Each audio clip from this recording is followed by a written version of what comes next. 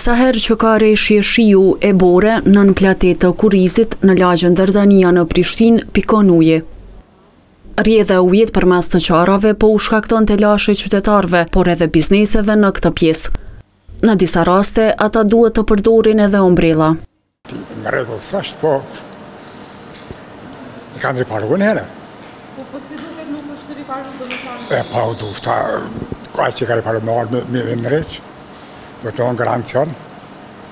Nuk ka punë sot, pa pa garantuar 2 vjet, 3 vjet sa sa merr. Nuk është mirë.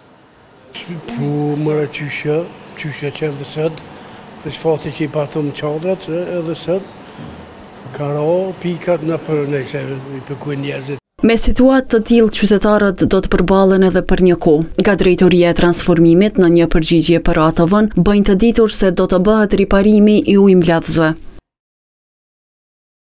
Sa u përket problemeve me ujë në fazën e punimeve të hidroizolimit, komplet i ka mbikëqyrur drejtoria e investimeve kapitale.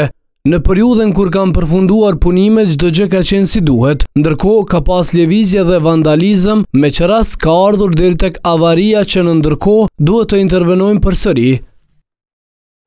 Projekti i renovimit të tunelit të Kurrizit është në vlerë një pikë tre milionë euro e që pritet të përfundojë brenda tetë muajve.